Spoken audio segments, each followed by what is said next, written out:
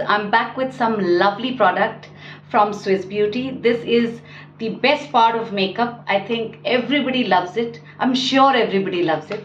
And this is a blusher from Swiss Beauty. I got this very pretty blusher from Swiss Beauty. And uh, this is the blusher. It's a pink. It's a very pretty uh, shimmery pink and uh, I think you can see I'm already wearing it but I would still like to show you how it comes out. I'm already wearing the same blusher after normal makeup uh, day wear makeup and I'm wearing a Body Shop lipper.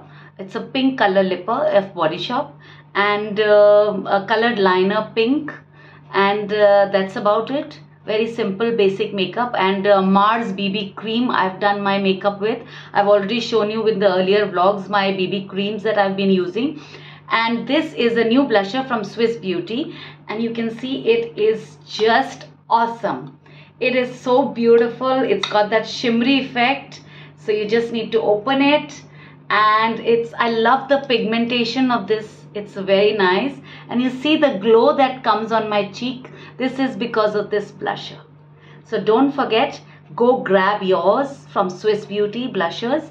I just put I'm just wearing a little more for you guys though I've already done enough but I just can't get enough of it.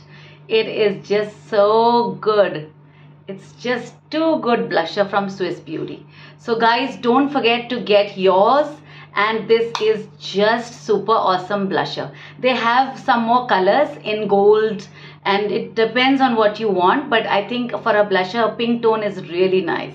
You see how good it's highlighting it's illuminating it's got shimmery effect.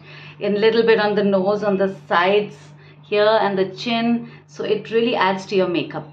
And don't forget to like share and subscribe